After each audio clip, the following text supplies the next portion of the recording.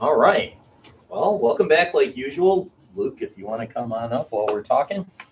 Right. We've got the uh, spring equity fund reports. We got four of them today. We're going to start off with Meridian Biosciences. And so, as typical in our format, Luke, if you could talk us through how you came upon this company, if there's a question out there that everyone keeps asking that you just want to put to bed for once, or something you didn't get a chance to resolve, from there on, we'll take it to Q and A. Yeah, sounds good. Thank you. Uh, yeah, my name is Luke Hunneke. Um, I'm in the Applied Investment Management Program here at Marquette. Um, I'm pitching Meridian Bioscience, which is at, currently at a price of $25.77. And I have it at a target price of $41.35 with upside of 60%. Um, Vivo is a domestic healthcare company that creates both molecular reagents and diagnostic tests. So reagents are chem- chemical compounds that, when added to the diagnostic test, create a chemical reaction that shows the presence of a disease or an illness. Um, Vivo is split into two groups with the life sciences group, which creates the reagents and the antigens and antibodies, and then the diagnostics group, which creates the actual hardware for the tests. Uh, life science is 59.8% of revenue, and then diagnostics is 40.2% of revenue. Um, and then how I kind of found Vivo was FactSet screening, you know, looking at healthcare companies with a relatively small market cap that had an EV to EBITDA um, around like 12 or under 12, um, and just a financially healthy company. And then I was also just really interested in what they did, and I was eager to kind of learn more. Um, I think the main question I received on D2L was about my peer group, um, which I included NeoGenomics, Neogen, Becton Dickinson and Company, and Bio-Rad Laboratories. Um, and Becton Dickinson and Company and Bio-Rad Laboratories are much larger companies. Um, and the reason I included this was because in Meridian's 10K, um, they're listed as main competitors. So they also create, or I think, yeah, Becton Dickinson creates molecular reagents, and then um, Bio-Rad Laboratories creates diagnostic assays. Um, yeah, so from there, I open up to questions. All right, we're looking for questions. Yep. Yeah, kind of going off of that, um, what kind of proprietary or IP, that sort of thing, do uh, your company hold compared to those much larger peers that would give them a competitive advantage over those larger peers? Yeah, so I think that starts at first with kind of the product innovations. They just recently came out with something they call the air dryable master mix, which is a reagent that um, instead of you, the um, instead of using lyophilization, which is the typical um, way to test for or to use PCR tests, and that's kind of a lot longer process. Air drying mixes takes about 15 minutes to get a test and to get the reagent ready to be put in the um, into the assay. So that um, is kind of just the innovation that they have, and that I think helps them stand out. Is that like patented? Any, any sort of like protection on that idea or concept? Um, I, I would have to get back to you on that, but um, they just recently came out with it. So Perfect. Thank you. Um, yeah, so I kind of want to keep building on this topic of patents. Um, do you know how their legal defense team is? If they have an in-house counsel or if it's out-of-house? uh, I'm not sure. Okay, and do they have any outstanding litigations against the company? Or do not have that risk assumption? Uh, they do not. No. Joe. That was my question. Ah. Great minds think alike. Yes, sir. Can you just touch on the recalls that you have the risks? Yep. So in um, 2021, they recalled their LeadCare assay, which is um, a test that tests for the amount of level of lead in the blood. Um, and the reason they voluntarily recalled this was because the tests were underestimating the amount of lead um, in the blood. So it is currently going through FDA approval, and management is confident that they will get the um, assay approved by the end of quarter two, 2022. Professor Walker, talk a little bit about how this company has grown uh, before COVID, and how you expect this company to grow after COVID? Yeah, so before COVID, they um, focused on gastrointestinal assays, which include their H. pylori um, tests. And then that was the main kind of growth of their revenue, and that's where a lot of their revenue came from. Um, and then including their blood assays with lead care um, that kind of helped them grow. And then once COVID hit, obviously PCR tests were in high demand, and that um, boosted their revenue a ton. Um, and then after COVID, I think with the addition of the air dryable mixes and kind of the new technology that they have um, rolling out, I think that will continue to grow revenue even after COVID. Can you quantify that growth rate? Yep. So for the H. pylori, um, sorry, you look at like the previous before COVID came up. What was the five-year five-year growth rate revenue-wise? Um, I believe pre, pre 2019. Mm -hmm. From in 2019 to 21, 21, there was a 25% growth rate. I do not have the numbers for, I'd like to, you could supply that. yeah, it definitely. I have a similar question, right? Have you valued, uh, what this thing looks like? What's the COVID effect? In other words, if COVID tests go away, do you know what in a per share price, what that means to this company? Or, or can you give me some color on, on what that means to this company? So, did you, I think the main, like, the main thing was even, um, in COVID in, in 2021, the, uh, non-COVID sales in the life sciences segment were up 30%. So I think the revenue that, and, uh, that they might receive from COVID will help kind of grow these other segments. And I think That's not what I'm asking. If you assume, other, with respect to Dr. Cross's BA two, that he's spreading the gospel on. Once that comes and goes in say a year, if, this does not continue to mutate and the tests are not needed, what would that mean to your, your stock? Can you give me any kind of quantitative answer? Um, I, not quantitative, no. Okay, thanks. Yes, sir. Yeah, how do you feel about their upcoming uh, earnings report in which sales are expected to be twenty percent down year over year? And like, do you think that would like affect their major holdings? Um, well, so the earnings report came out a couple weeks ago. Uh, that was for quarter one, 2022. I, I believe that the quarter two, 2022 will be even higher because including the PCR test that, you know, in the from the Omicron variant and the demand from that, um, I believe that that will actually boost revenue and, um, yeah. Awesome, thank you. Uh, can you talk about the short interest for a little bit? I noticed they held up around six and a half percent. Can you talk about if that's uh, an activist campaign, what's driving that? yeah, um, mainly by, um, by certain funds that hold the majority of that. For the short interest, I believe it is held by, um, the founder who was, oh, I'm sorry, I don't have his name. Um, I believe he holds the majority of the short interest. Founder is short. No. The Founder would own insider shares. Oh, I'm sorry. Short interest would be like hedge funds that think it should go down. Hopefully the founder thinks it's going up. Oh, yeah, I do not have the funds that are, yeah. Uh, just kind of go off Professor Walls a little bit, but, um, the PCRs, I know is a big value for like the last couple of years. What did you model that for future years? Did you have it retracting? How much do you have it retracting? Or what do you do for the Well, PCRs? PCRs can be applied to certain, a lot of diseases and illnesses. So I believe with COVID and a lot of people have seen that PCR tests are extremely effective and quick. I believe that that will actually transfer to um, other diseases and be used a lot more um, widespread. And then, So are you still growing the PCR tests from COVID levels? yes, Okay. No, we- For Brett.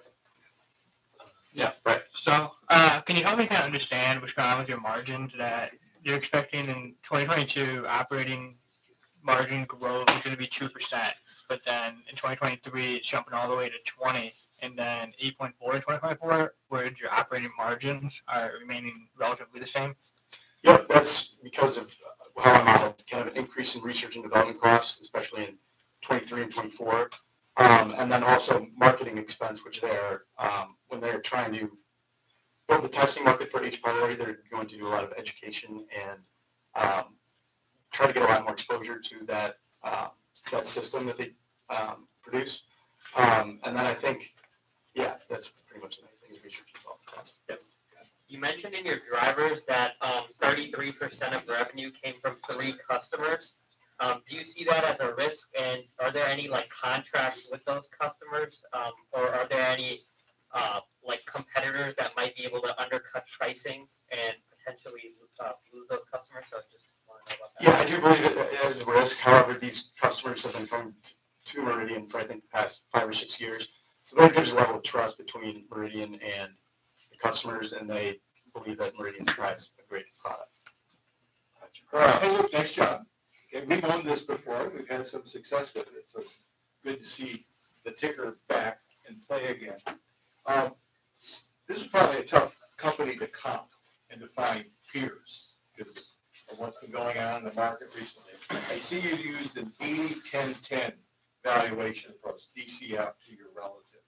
Um, Talk a little bit about your peer comps and why you chose 80-10-10. Yeah. So with I think the main reason I chose 10 10 was because of how large Becton Dickinson and Company and Bio Laboratories are.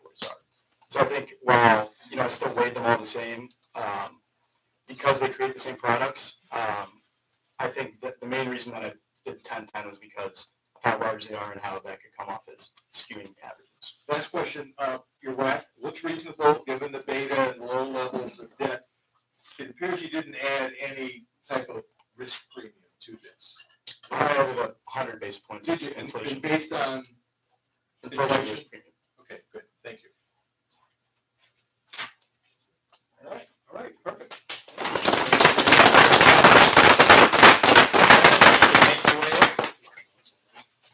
We're gonna hear a bit about a company most people probably heard of, Logitech. Kevin's making his way here, keep your questions ready at uh, the, helm, so to speak. And Kevin, I think you know the routine by now. Help us understand why you chose Logitech.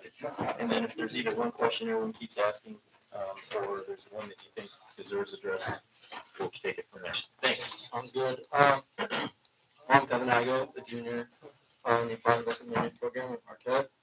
Um, the stock I'm pitching today is Logitech International SA, ticker LOGI. A little bit about the business they operate in four main business segments. Gaming, it's made up, they have a couple brands, Astro Gaming, Streamlabs. Um, video collaboration is twenty percent. They just acquired Mevo to help grow this section. Keyboards and combos, fifteen percent, and other forty-two percent. Um, I'm pitching it with a current target price of one hundred four dollars and thirty-four cents, representing an upside of forty-one percent. Um, diving into how I screened for Logitech, I was looking for a company with PE under twenty near the industry average for the tech sector. I originally started with Canadian Solar because their strong financials and recent investment in a strategic partnership with Habitat Energy. Um, then President Biden extended the Trump era tariffs on solar panels from foreign countries, and 20% of Canadian solar's revenues came from the United States. So then I went back to my screening process, looked for a company PE under 20, sales growth over 10% for the past five years, and Logitech came up, and I was familiar with the name. I saw the recent acquisitions of Streamlabs and Evo, and I thought there was a lot of growth opportunity. Um, moving into some questions I received on D2L. Um, there were a couple errors in my write-up in my valuation section. Um, so my models were weighted 85, 7.5, 7.5, not 80, 7.5, 7.5 like it says. And then my dollar amounts in my valuation are correct, but my peer multiples for my PE and my EV EBITDA were incorrect. They are what they are in the boxes down below at the bottom. Um, PE weighted average 12.49 and EV to EBITDA 12.83. Um, also, my ROE in my box top of my write-up is incorrect.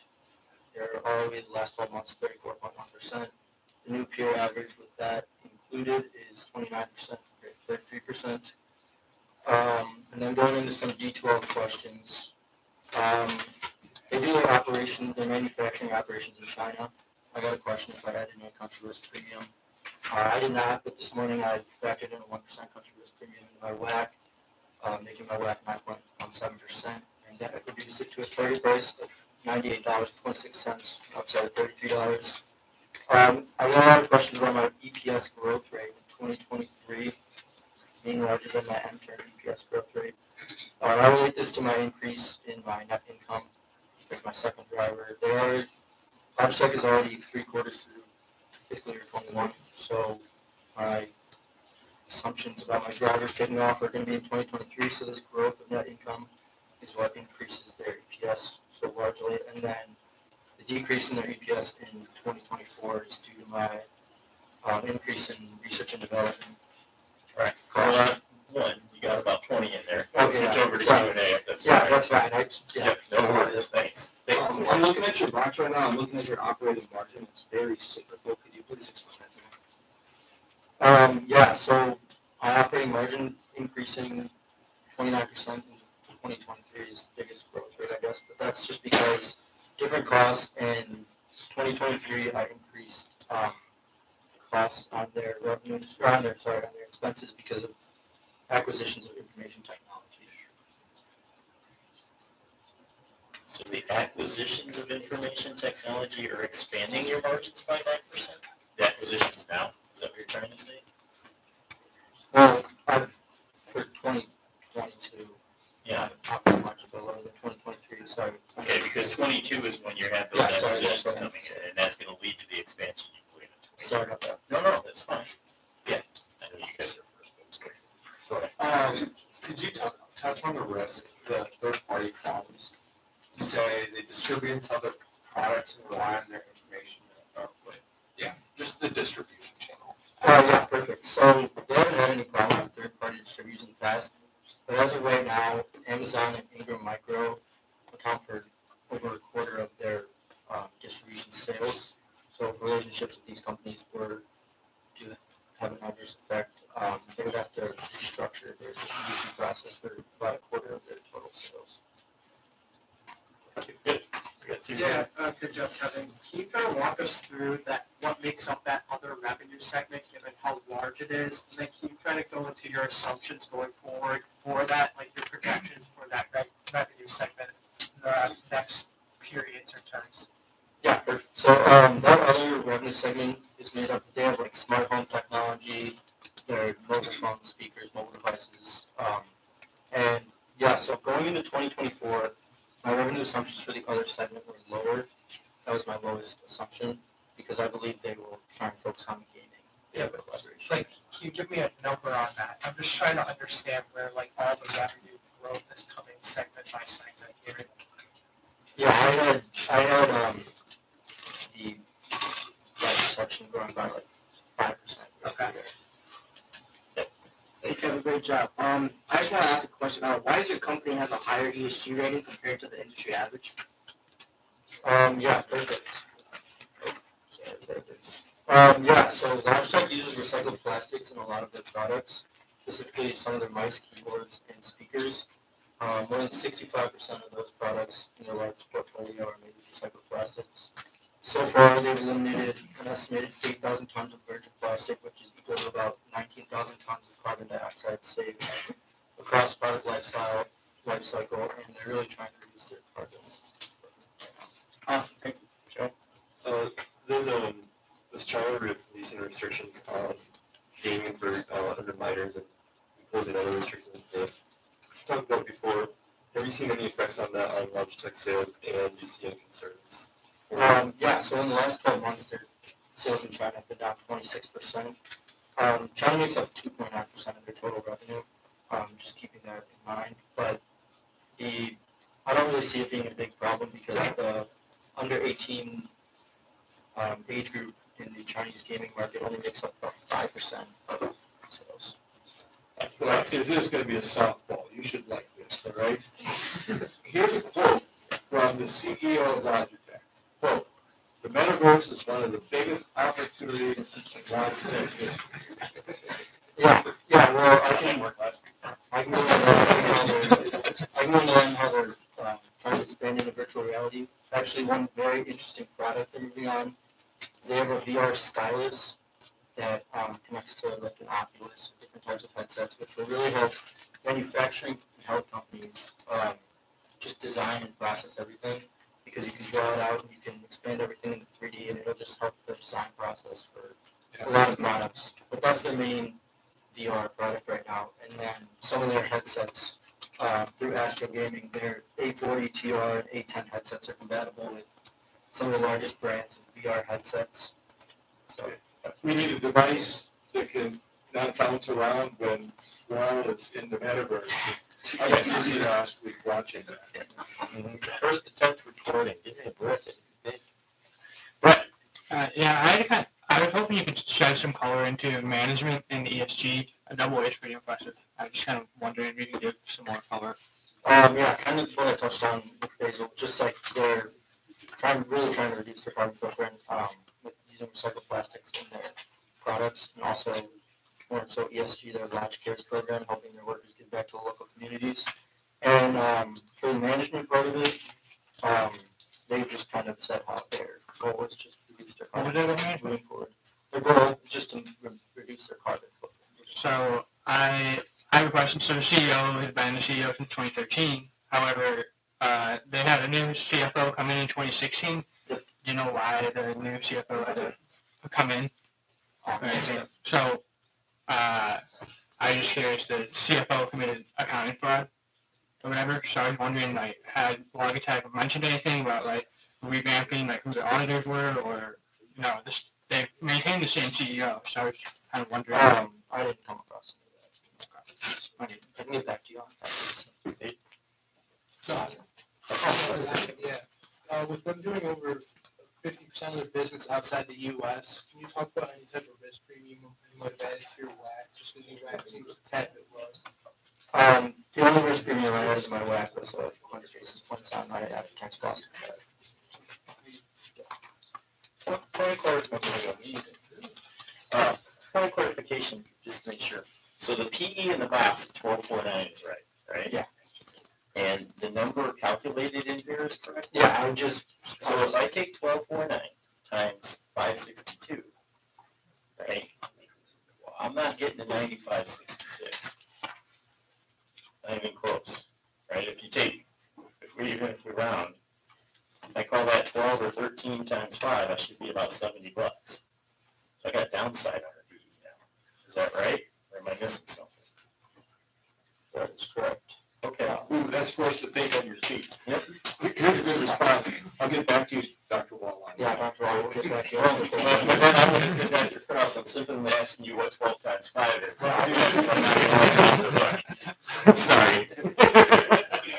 All right, you're up. Could you talk about the e-gaming? I think one, yeah, one of your drivers you talked about kind of e-gaming is kind of blowing up. What did that look like, I guess, prior to COVID or, um, and then kind of moving forward, how do they plan to capitalize on the growing e-gaming aspect of their business? Um, yeah, well, perfect. Um, e-gaming is growing at crazy rates right now, and Logitech G, one of the brands under their gaming segment, is that is their main goal, is focusing on esports and professional gaming equipment. They actually sponsor about 30 professional gaming teams, showing that their products are the highest quality. Um, but I think that esports will also combine with Streamlabs and the view, the viewing rate of streamers and content creators increasing. Um, so I just think all those combined will really increase their gaming revenue for years to come. There was one more back here so somewhere else. Is that it? All right. All right, cool.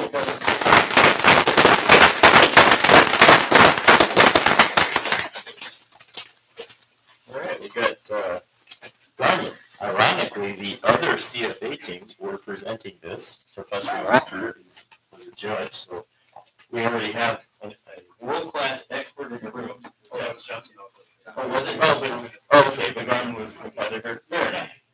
But this would be a big one. So if you could take us with how you found this company, as well as, you know, if there's one big question out there you want to address, that'd be great. Yeah, of course. Um, hi everyone, if I haven't introduced myself already, um, I'm Aidan McGuire, I'm a junior here at Marquette.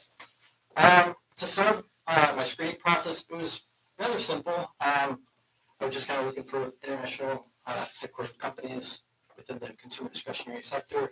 Um, I originally came across a company called Coca-Cola Europacific Partners, um, big in Iberia, Germany, Great Britain, and France. Um, and the story really didn't fit. Uh, really wasn't that appealing to me.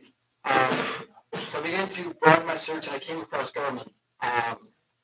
Running across five different segments. Um, I thought it was a really interesting company. Uh, when I saw they had no debt, that was kind of a green flag for me. Um, they performed well against the S&P. Um, and then I went looking into their story. Um, and when you go back 10, 15 years ago, they were strictly an auto business, focusing on their GPS products. Um, and then the great, or the financial crisis hit, um, and their stock dropped nearly 90%. Um, and unlike companies like BlackBerry and Kodak, uh, Garmin decided to innovate and they completely changed, flip their business model uh, to be a fitness-oriented company, as well as expanding their segments into marine, aviation, outdoor, and also keeping the auto uh, segment. Um, I think one big question I got on D2L was about my peers, in particular Apple. Um, I think when you see Apple on anybody's peer sheet, it kind of draws your attention just because they are one of the biggest companies in the world. Um, I would them at 40% for a number of different reasons. Uh, the first of which is their presence in the fitness wearable industry. Um, they own about 51.2% of the market share within there, um, being direct competitor with Garmin. Um, I would say the difference between the two is Garmin focuses more towards the workout enthusiasts uh, such as your track and field runners, your cross-country runners, as well as your um, street cyclists. While Apple is more of like a leisure watch, uh, more for style, but it can't have the features of tracking your heart rate, seeing how many calories you're burning, etc. Um, additionally, they play a role in the outdoor and the auto segments. For outdoor, um, Garmin has their own line of golf watches that, that has around 41,000 courses preloaded into there. It'll tell you uh, the yardages, the front, middle, back of the green. Uh, Apple can do the same features. The only difference is you would just have to download an app that could connect to your phone. Um, and then with auto, if you've been in a car that's been made in the past couple of years, you'll see that they've included features such as Android Auto and Apple CarPlay. Um, when you get in the car, you can connect your phone from Bluetooth uh, or via cord. And right away, you see your most used apps, uh, potentially what music you were just listening to, as well as a map, um, making navigation a little bit easier. Um, so that's where I saw the competition as uh, Apple was kind of drawing you away from needing that GPS device uh, connected to your windshield. Um, with that, I'll open up questions. So here's a good news, bad news teaching. Uh, bad news first.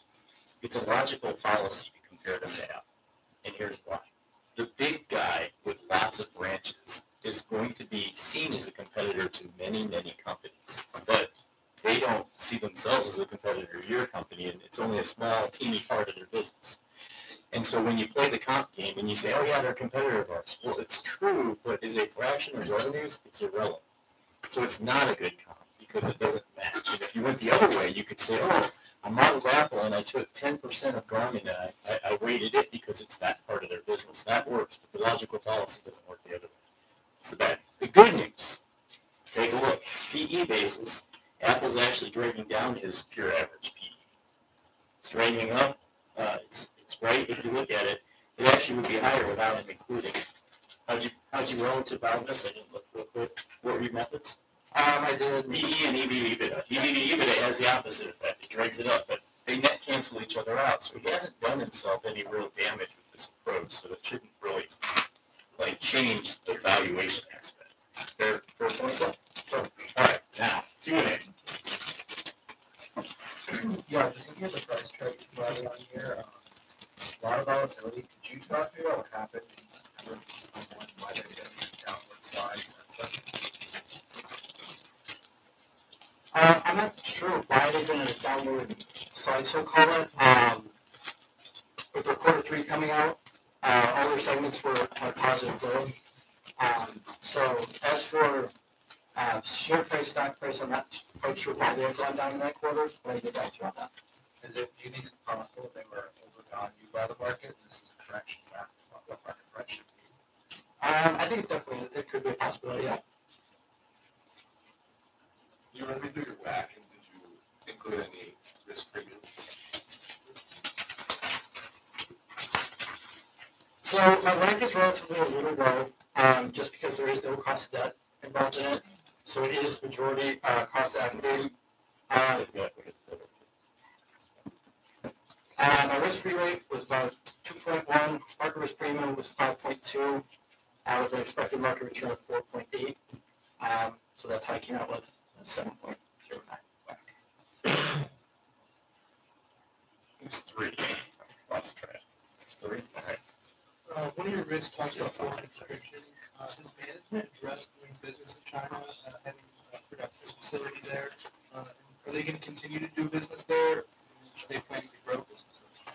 So right now, um, China produces 3.4% of Garmin's revenue. Um, with the recent turmoil that's been going on, they haven't announced if they're going, what changes they're going to be making. Um, what I will say, uh, in addition to the risk, is 85% of the revenues from Garmin come from Taiwan facilities, um, which could be a big risk given that they have four and they're planning on um, adding an additional facility there.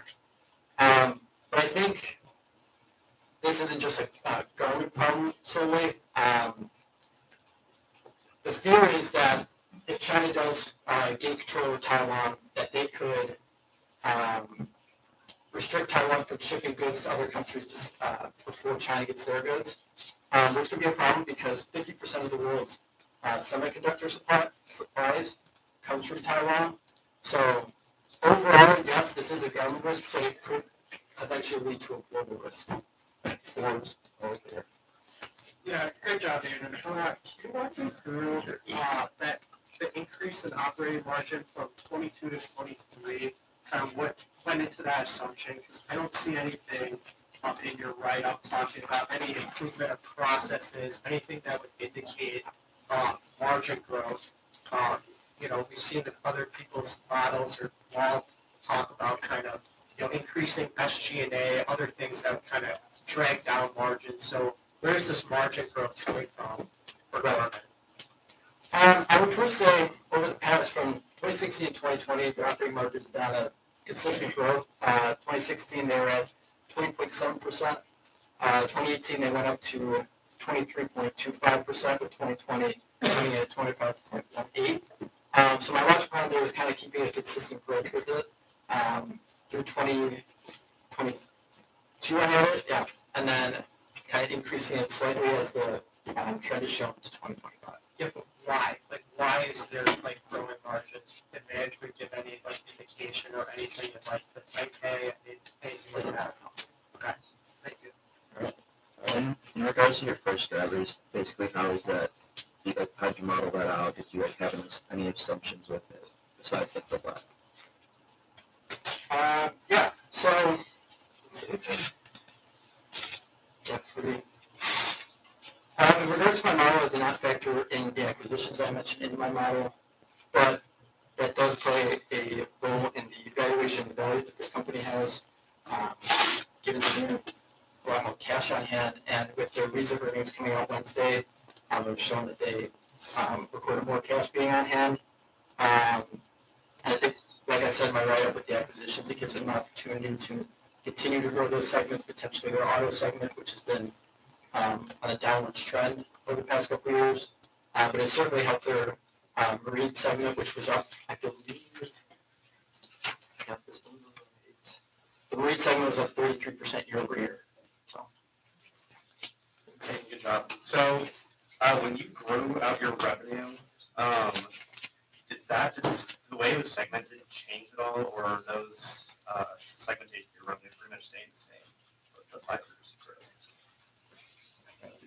can you repeat that question? I'm sorry. Yeah, so did you grow out, so you have thirty-one percent fitness and twenty-seven percent outdoor, did you see any changes of how, uh, how, like, any changes of, is outdoor or lowering, or talk about that a little bit? Yeah, so they just, again, like I said, they announced their earnings for, uh, their yearly earnings on Wednesday.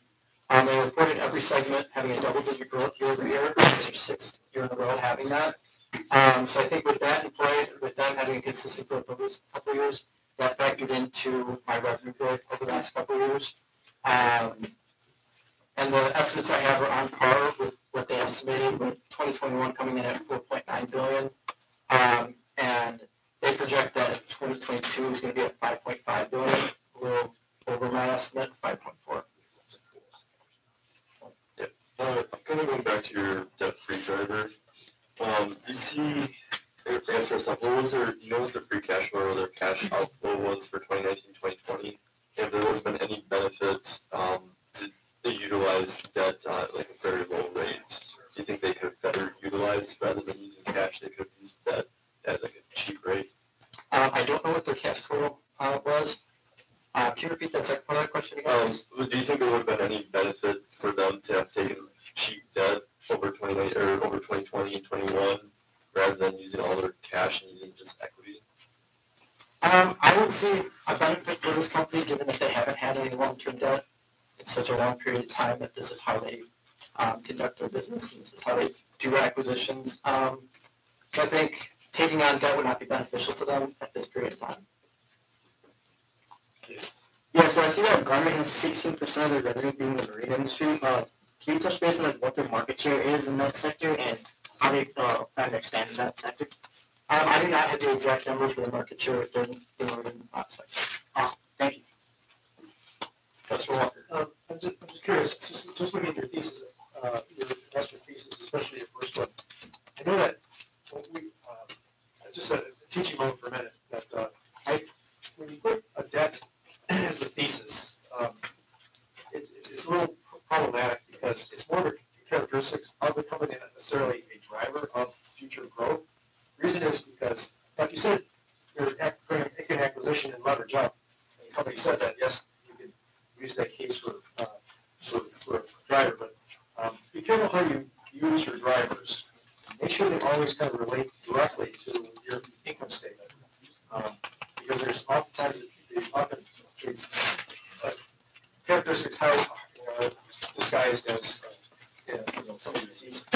So, uh, the question I have is actually, um, what kind of company growth rate has this company had for pre-pandemic, uh, two thousand fifteen to two thousand nineteen? The reason I ask that, we have many companies that have this huge growth of revenue because of COVID. But it's gotta, there's gotta be a hangover, there's gotta be a growth hangover sometime in the future, because not everything grows at a, new rate. I'm Just wondering if, you know, help me understand what the growth rate was pre-pandemic for like five years. Right.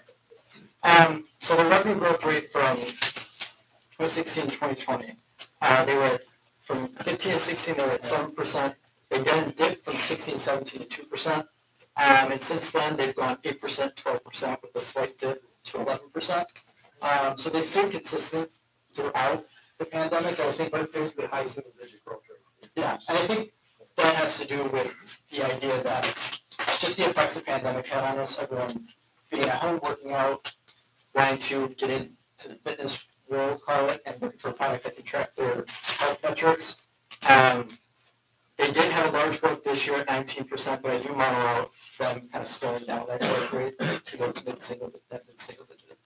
Yeah, what's up, Aiden? Nice job. Um, can you just talk about the, their like, uh, acquisition of Firstbeat and kind of like the COVID, that thing about detecting COVID the week before symptoms? Yeah, for sure.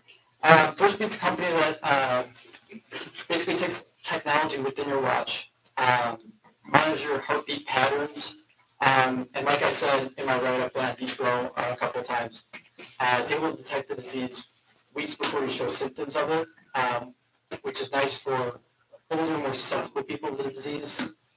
Um, and then with that, off that acquisition, they were working with Dexcom, um, which is a glucose monitoring uh, system company that uh, received FDA approval to be able to put this technology in the launches.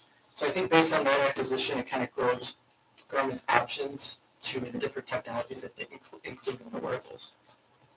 Uh, We should have the watch on you, they're getting quite a workout here. Oh, yeah. A Little different angle here, interesting company, reinvented itself, and still is gonna face some challenges or changes ahead. I see that both founders are young, okay, Kyle started in eighty-nine, um, as well as the co-founder was a software engineer back in eighty-nine. Any discussion about transition?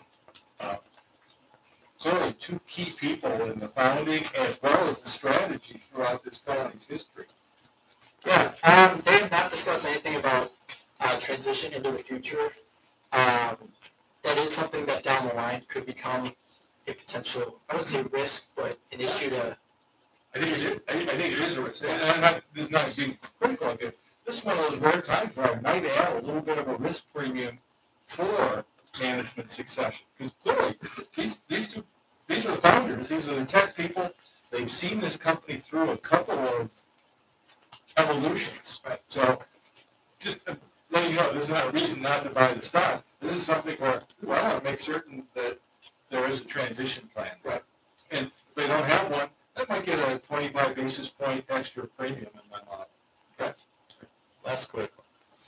Just kind of touch on your insider holdings. Are they held by the uh, people who founded it, like Dr. Kosted, or much control in that, and you see that as a risk?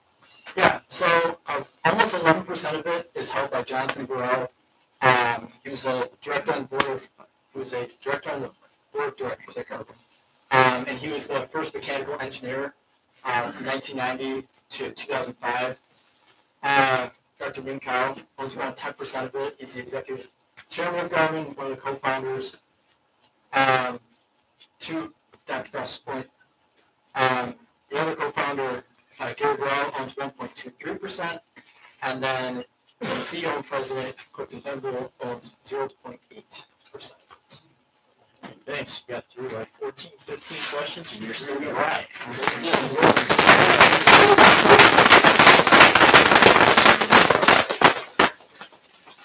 All right, last but not least, Max, we're gonna see if we can beat the previous record for you. Uh, Keep you up here till three o'clock. Um, Max, Max, if you could take us away with, tell us how you came about Casey's as well as if there's something you want to address before we get rolling. Right, for sure. Um, so I'm Max Tiemann. Today I'm pitching Casey's uh, General Stores. And so kind of to start with how I picked this company, uh, being from a consumer staples domestic sector, I was really just kind of looking for a company that had promises of growth, maybe some new innovation, but as I quickly found out in the consumer staples industry, there's not many companies out there kind of innovating toilet paper and avoiding groceries. So then I ran into Casey's and I remember telling some people and everyone me with the same response like, oh, Casey's has the best pizza in the United States. And so I remember having on their uh, investors relations site and seeing them advertised as the third largest convenience store and the fifth largest pizza restaurant in the United States really kind of spoke volumes to me about their unique business model. So after analyzing their kind of financials and seeing that their revenue had grown like 80% just in quarter two, I was like, hey, this is this is the growth I've been looking for. Seeing that unit growth in their stores was kind of kind of the main reason why I picked them. But then uh, to hop into a question that I've been receiving a lot of is kind of my competitors and my comps. Um, seeing that Casey's gets 55% of their revenue from fuel and then another 44% of their revenue from groceries and prepared food. I had a really tough time finding competitors that had that same business model of the fuel and the convenience store aspect of it. So to kind of fix this problem, I picked two oil companies in uh, Murphy and Sunoco, and I picked two grocery stores, kind of what typical grocery stores and Weis Markets and Village Supermarkets, and I weighted them all the same, just kind of to have the most fair balance of convenience stores and oil companies. And so from there, I can open it up to questions. Brett, take us away. So obviously, Casey, uh, you know, one of the biggest threats is inflation. How did you model inflation?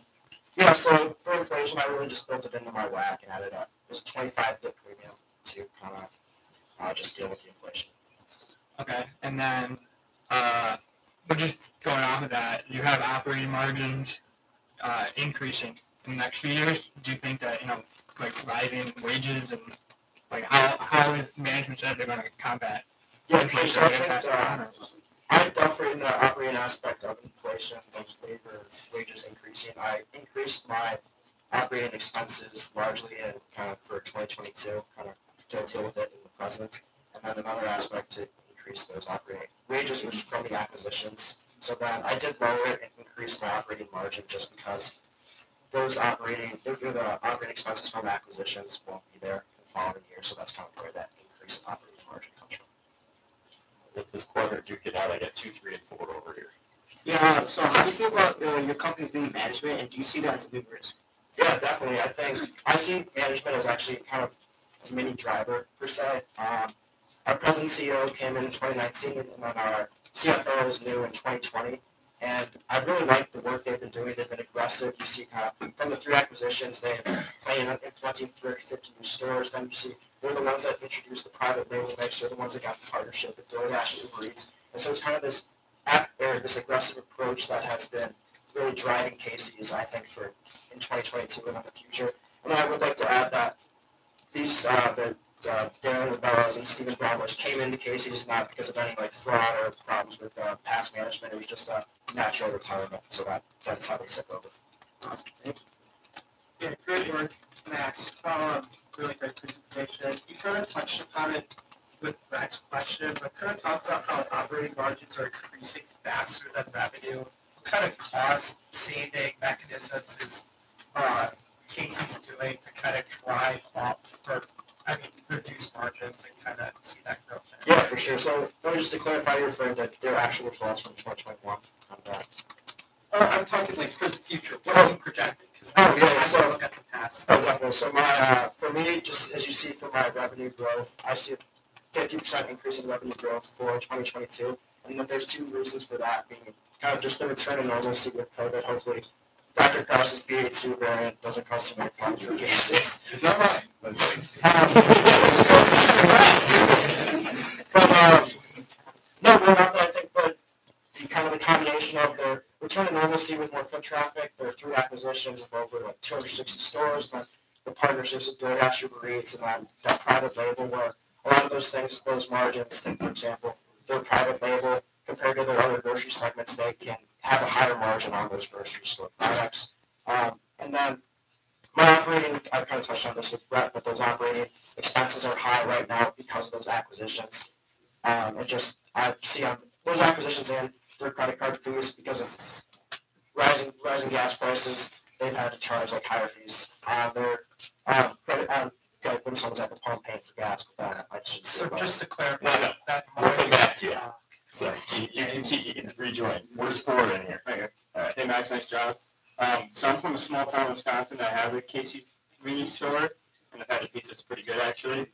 But I was wondering, a local favorite seems to be Quick, QuikTrip, and I know it's Casey's kind of Midwestern, Yeah. big in the Midwest. So I'm wondering what's like a big factor that sets them apart from these smaller chains like QuikTrip. Yeah, definitely. Um, I think the main advantage I see with Casey's compared to like a QuikTrip or a Sheetz out east is just kind of their really aggressive approach to rural communities. Um, like you said, these QuikTrips are kind of big, bigger cities, or like you see them in Milwaukee. But then you take uh, and I actually, went to a Casey's last Friday, and I had to drive 35 minutes out of my way to kind of get that pizza. So it's just that aspect of targeting targeting smaller towns. Um, they target, I think the number fifty percent of their stores are in towns of five thousand people or less. I think that's ultimately what's going to drive the growth because they're coming into these towns where they're really just run by mom and pop shops, and so they once they put their foot in the door, they become they become the, the one provider for gas, groceries, alcohol, tobacco, and all that stuff, so where they can kind of have control over the market in the town.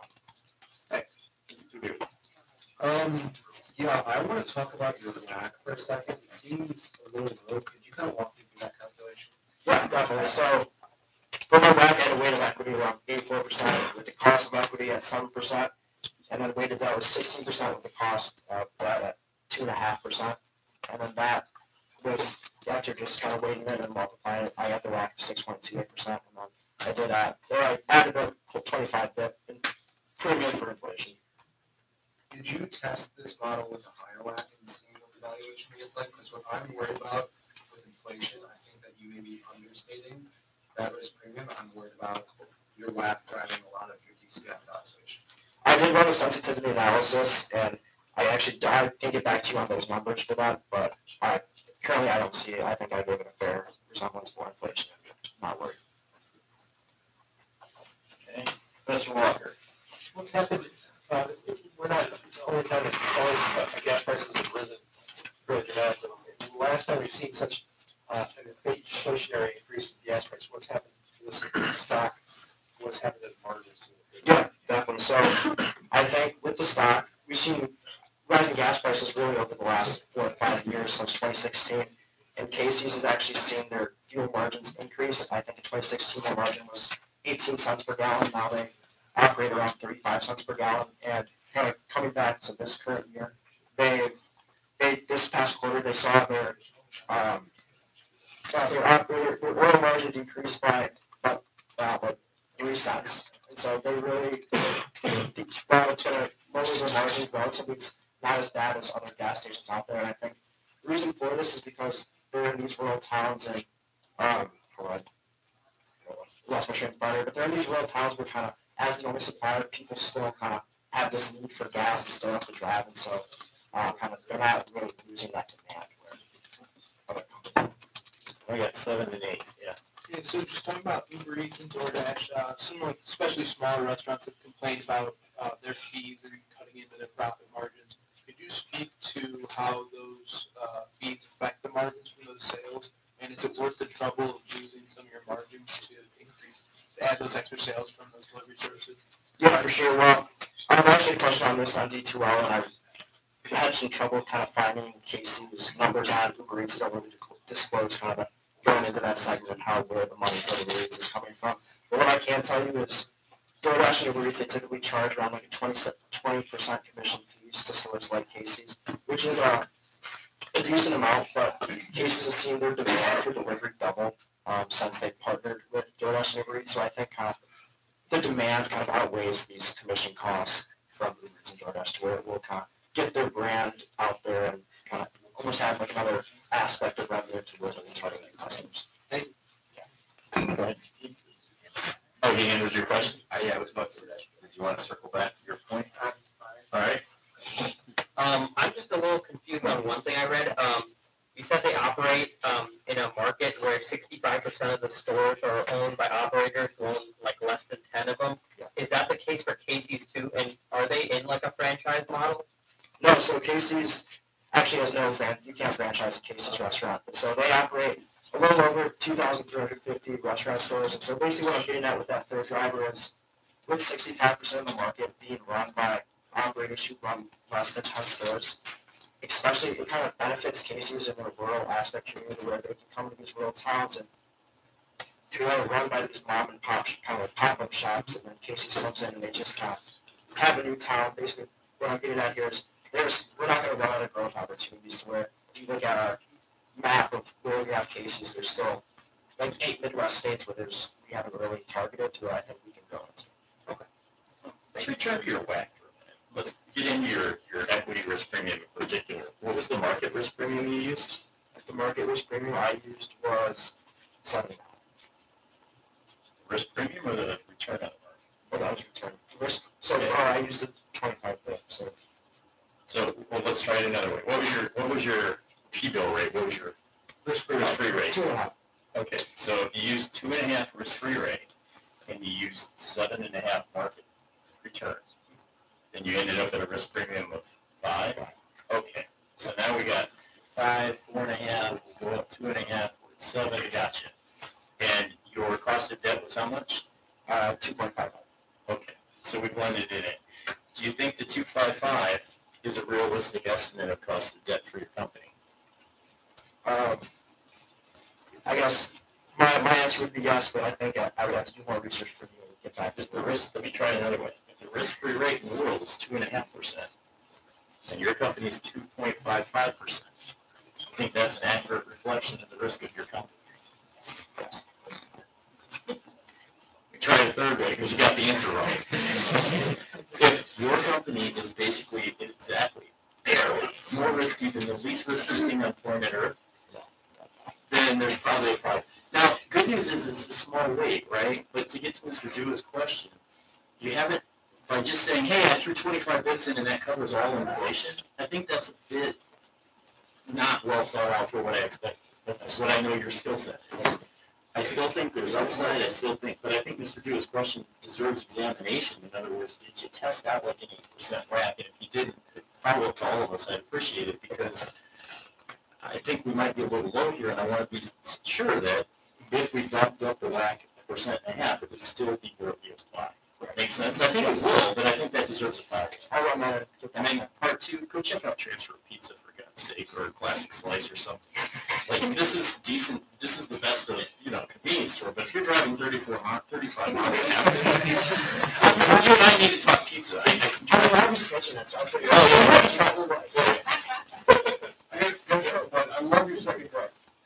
Yeah, because they've gone from basically nil or low private label to as much as how much? Uh, they're at four percent right now with the goal of getting ten percent. Quality, ten percent, margins, definitely improved. Yeah, this isn't poo-pooing your story at all, it's a good story. Yeah. Yep. Uh, so did you factor that in, is, is that?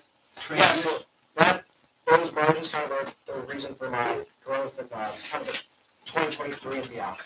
It's having to do with your earlier question that was asked about margins. I think you could defend that if they're moving towards private label now. All right, well, it turns out you almost did your own marathon session. You were also relatively dry. I think I might see some of. Good job,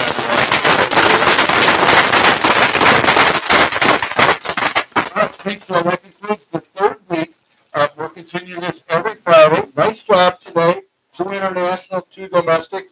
Next week we'll have five more. Uh, good Q and A. Uh, nice job, everybody. We'll talk about buy sells right now, okay? Enjoy the weekend. Uh, see you Monday.